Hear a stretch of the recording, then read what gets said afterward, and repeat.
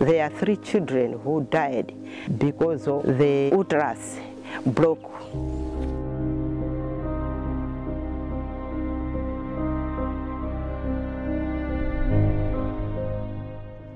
Over 650 million women and girls globally were married before the age of 18, and 1 out of 13 were married before they were 15. ineyo mmene ndinalowera m'banja nandi study 7 kuti ndikupita 8 kulowa kwanga m'banja ndokuti makolo anga amandikakamiza chifukwa chosowa chithandizo cha ku sukulu Around 200 million women and girls have undergone female genital mutilation FGM or cutting. A majority were under age 5. UN Women is working with the Council of Traditional Leaders of Africa, COTLA, to address harmful practices and bring about change. These leaders have a lot of influence in their communities and their inclusion is crucial.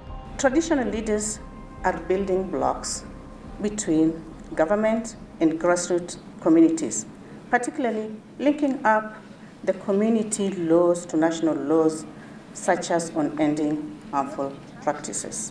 What we have done as a chiefdom is to sit down with the people and review our culture after seeing too many children carrying children on their backs.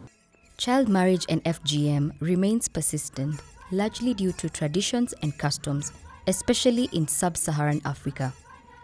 FGM has serious implications for women's sexual and reproductive health. Child marriage can result in early pregnancy, social isolation, school interruptions, and domestic violence.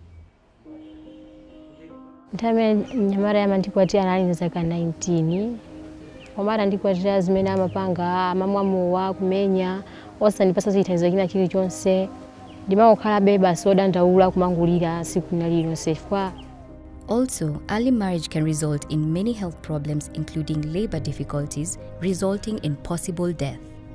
If nothing is done to change this, by 2050, the number of women and girls facing child marriage and FGM will double.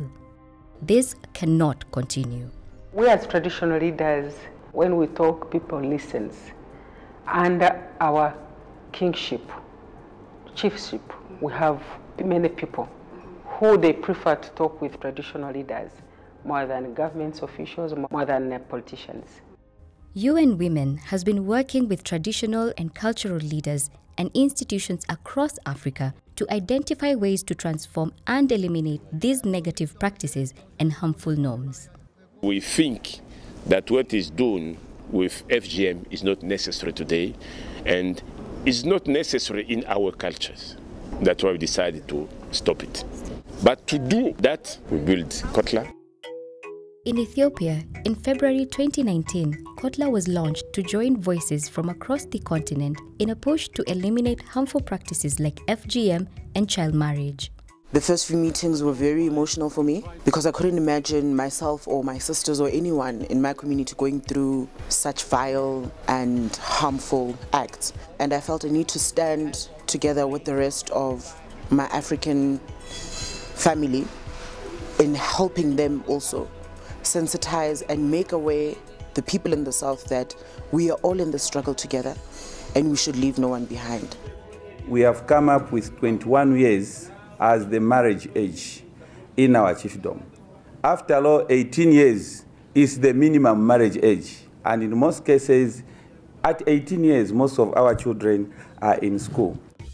UN Women has gained the support of religious leaders.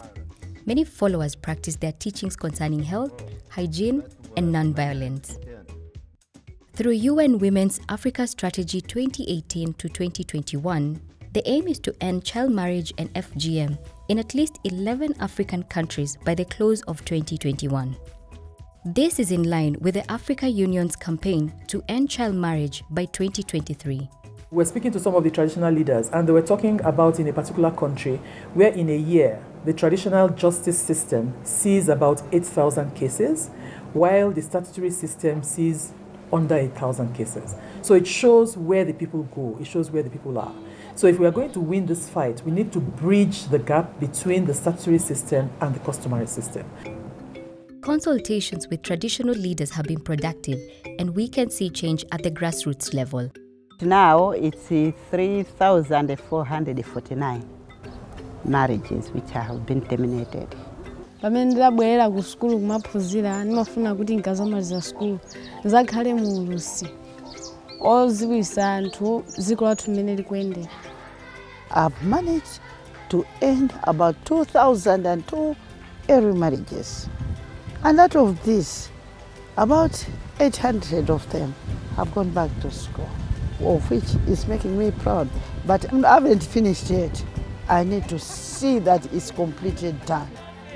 I'm happy with the direction I think we're taking, and we just need to soldier on and continue to doing great things.